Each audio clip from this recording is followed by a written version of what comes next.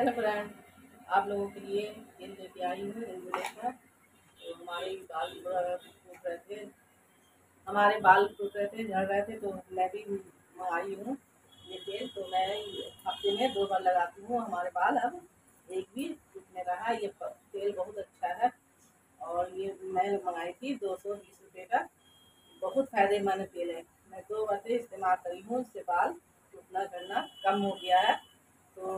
लगा कर देखिए इसका छोटा भी मिलता है एक सौ एक सौ तीस का चालीस में मिलता है, पता नहीं मैंने दो सौ बीस रुपये मंगाई थी। तो मैं लगा रही हूँ लगा कर तो रिज़ल्ट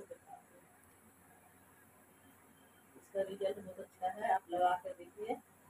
मैं लगा कर देखती हूँ हाँ चार महीने के बाद आप देखिएगा, आपका बाल सही हो जाएगा और झड़ना टूटना कम हो जाएगा। जब तक झड़ेगा, टूटेगा तो बाल का ग्रोथ भी अच्छा नहीं रहेगा और ना घना बाल होगा। अब ये तेल लगा कर देखिए, आपका बाल टूटना झड़ना कम हो जाएगा। तब तब घना भी हो जाएगा और लंबा भी हो जाएगा। इस तरीके से आपको ये कंघी दिया हुआ है।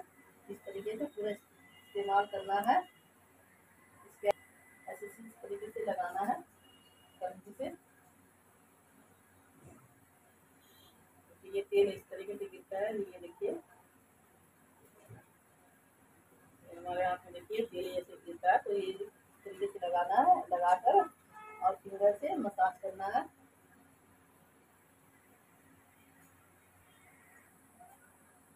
सिर्फ़ स्केल पे लगाना है, बालों पर नहीं लगाना है। पूरे स्केल पे इस तरीके से आपको इस्तेमाल करना है। आप इस्तेमाल करके देखिए, आपका बाल का ग्रोथ बहुत अच्छा हो जाएगा और बाल लॉन्ग भी होगा, घना भी होगा। फ्रेंड जब बाल झड़ता है तो ग्रोथ भी रुक जाता है और घना भी कम हो जाता है तो पूरा लगता है दिखने में। तो आप ये चीज़ मंगा के देखिए, मैं इस्तेमाल कर रही हूँ, मुझे फ़ायदा हुआ तो आप लोगों को बता रही हूँ। इस तरह से लगाकर और पूरा फिंगर से इस तरीके से मसाज करना है।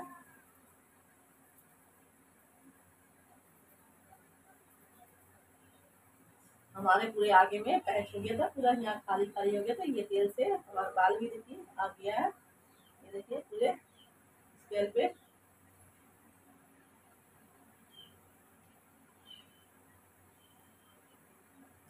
तो ये तेल लगाकर फिंगर से इस तरीके से मसाज करिएगा।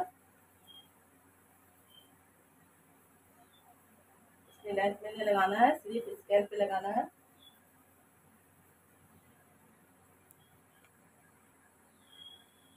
Bye, my friend.